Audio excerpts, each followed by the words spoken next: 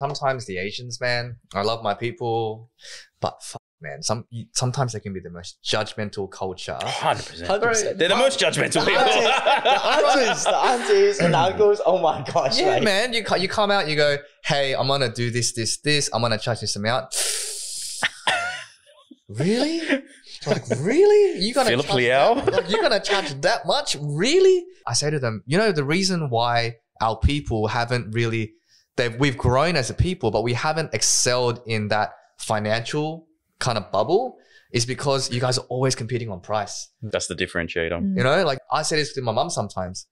I don't even need to tell her what it is. I just say 60 bucks and she goes, oh, expensive. I go, bro, you don't even know what it is. like, you don't even know what it is.